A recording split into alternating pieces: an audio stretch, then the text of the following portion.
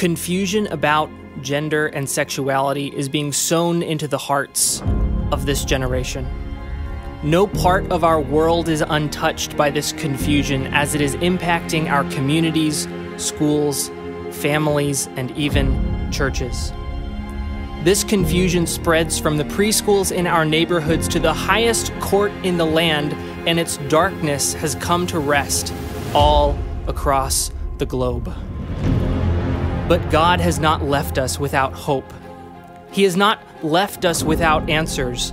In the midst of this darkness, God has spoken, and His word shines with clarity in confusing times, our confidence must be in our all sufficient God who has provided us with an all sufficient Word.